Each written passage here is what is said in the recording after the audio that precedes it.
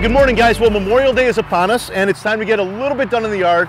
So just some quick tips for this weekend and things that you really want to make sure that you either pay attention to or that you take care of. First of all, it's time to put down your step two. So it's Memorial Day weekend.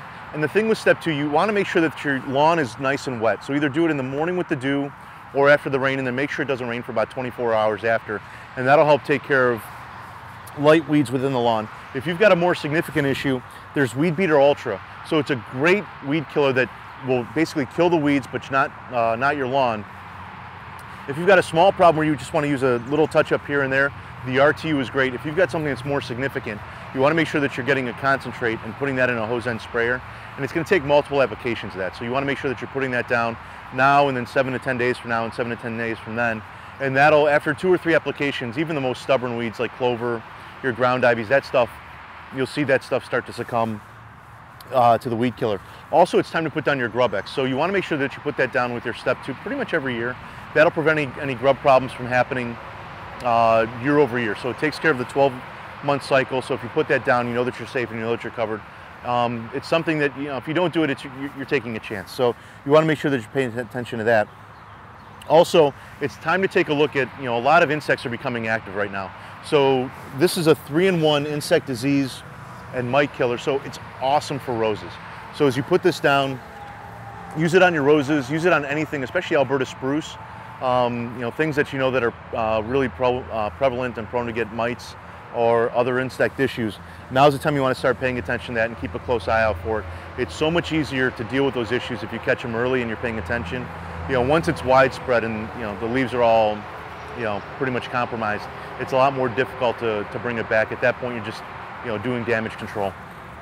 So another great alternative to, for an insect problem is also Captain Jack's. It's a great organic insecticide. So there's not a lot of um, really good effective ones. Captain Jack's is very effective. So if you've got organics, especially if you're using that inside the vegetable garden, it's a wonderful way uh, to, to treat insect issues in there, especially on your cold crops. So a lot of times cabbage, broccoli, uh, Brussels sprouts, you know, get aphid problems, get different insect problems. It's a great way to deal with those issues. So around the home also, you know, a lot of the crawling insects are becoming active now. So it's a little bit late in the season, but you're starting to see them get around your ants, um, a lot of other things. So take the Ortho Home Defense and then just sprinkle that about, you know, a foot or two um, in diameter around the circumference of your home. So it just creates a nice boundary, a nice shield around the circum uh, circumference of your home. And then also there's a liquid form. So any thresholds that you have by your garage doors, by your patio doors, by your front doors, side doors, make sure that you're treating around the ground, and that'll stay up for about 12 months uh, with that home defense. So it's a great product. It's a great way to help protect um, the plants. And then, you know, there's a lot of cleanup that you have to do right now. Scotts has come out with a great outdoor cleaner that basically just, you know, use it. It works great on siding. It's great on patio fabric. So if you've got patio cushions that need a little sprucing, it's a great way to do that.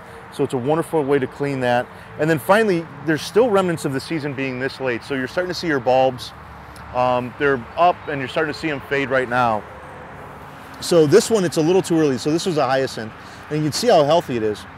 But as this, you know, the nutrients basically go back inside of the bulb. And so as this begins to wither, the foliage will begin to yellow. And as that yellows, it'll start to get floppy. You know, as you start to feel that, that foliage softening up, you can actually take the hyacinth, bunch it together, bend it over, and use a rubber band to tie it together. And at least that helps keep it nice and clean in your yard uh, where it's not just, you know, visibly just kind of messy and dirty around there. So just a few quick tips for the weekend. Have a wonderful and safe Memorial Day weekend. Thanks, guys.